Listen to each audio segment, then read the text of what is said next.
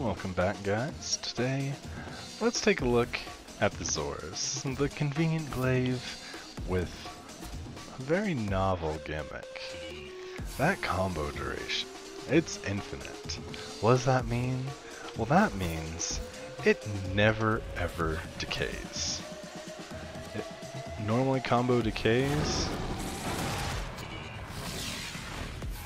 but the Xoris, it just doesn't. See, there's no bar. There's usually a bar that shows you how much time is left. Xoris, nope, just never ever decays. We're gonna hit 12, and it'll stay there. Look at that. Hmm, hmm, that's beautiful. Just doesn't decay ever. Now, that's amazing. That should make this the best weapon in the game, hands down. But it's terrible. Like, truly terrible. Why? Well, uh, I'll show you why. The answer is very simple. Extremely, extremely simple. But attack speed looks good. Crit chance is actually the highest glaive I can think of. Don't believe me? Here's Okay, second highest. But the crit multiplier is way higher on the Xoris. Which is why it's more critty. That's kind of what I meant. Status, actually, status is really low for a glaive. I mean, you've got things like the Falcor and the Cerata, which just have off the charts, like 30% statuses. So, but 18% totally works with Weeping Wounds. I mean, Oops, if I could spell. Public education, right? There we go, Weeping Wounds. I'll just let you read that. For those of you that don't know, this is a great mod. It adds a total of 440% in status chance once you get to combo multiplier 12. That works just fine with 18%. The problem with Xoris is what is this garbage number?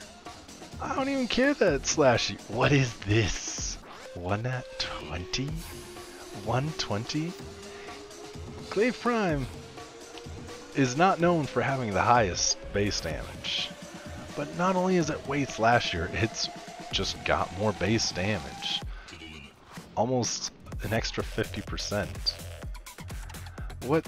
So what does compare? I think you've already seen it. The Skana. The Skana. The Skana has the same base damage as the Xoris. That's, dude, that's terrible.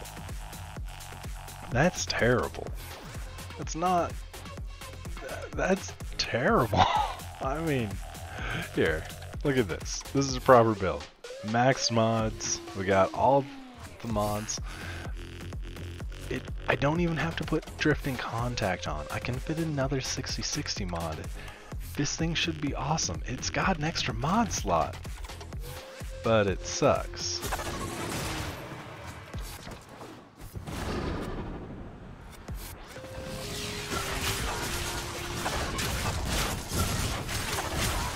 Yeah, I mean, a Blade Storm involved. These guys are already softened up. They already have statuses applied. Ugh.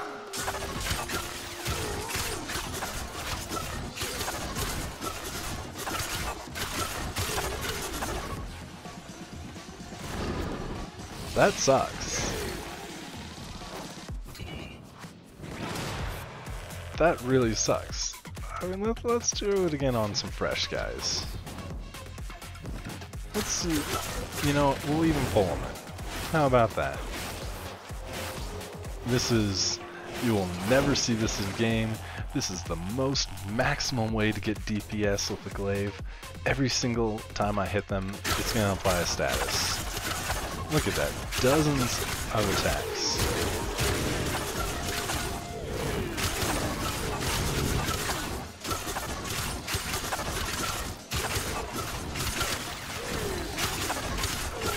They'll do the job, But it's, it's lackluster. It takes too long. It takes way too long. Like, what? And then, this isn't how you use the Xoris. You don't use it for its combo. Use it as a thrown weapon. And yeah, this is some this is some nonsense. I'm still kind of testing just because I'm desperate to make it good in any way. And really where you want to use this is inside the Granum Void against Spectres. Currently the Spectres are completely immune to status. And so Condition Overload is just here so it doesn't suck outside the void. Yeah, yeah, I know. I know it hurts me too. But Reach doesn't go on here. Elementals? I'm not sure Elementals do anything inside the Granum Void. So I slapped on some nasty base damage and got as much crit chance as I could. Because the whole point I'm trying to do with this build is throw it.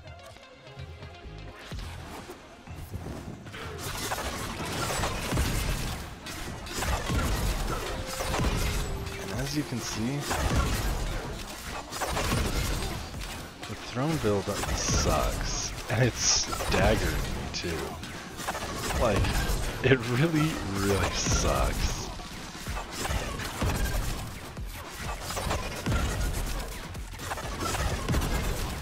I mean, I'm getting some damage, but not nearly enough. Now, does this do amazing things in the Granum Void? Yes. But Xoris is just a confused and lost child.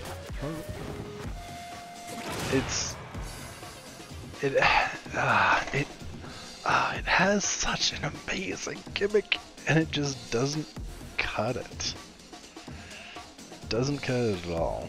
The Granum Void if the Spectres were not status immune, it would actually be a lot better. It's a really weird choice they made going that route, especially with all status changes, but D is doing D things, so we're just gonna walk away from that.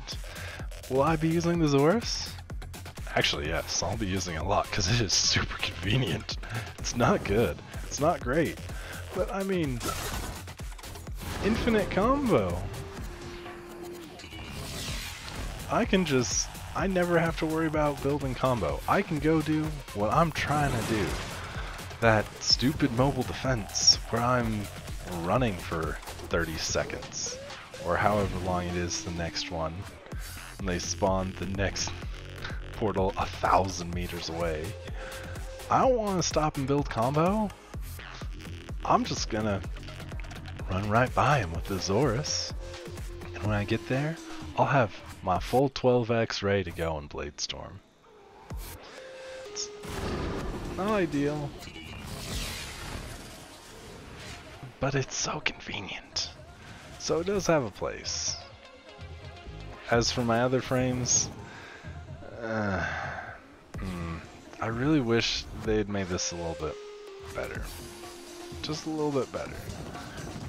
Now, if they did make it any better, it would probably kill every other glaive. So I get what YD kind of held back. Glaives, they're just in a weird place. But I'm gonna stop rambling on. I'll... You guys do what you do. If you want the Xoris, go ahead and just do the Protea quest. It drops freely. Thanks for tuning in. I hope to see you guys next time.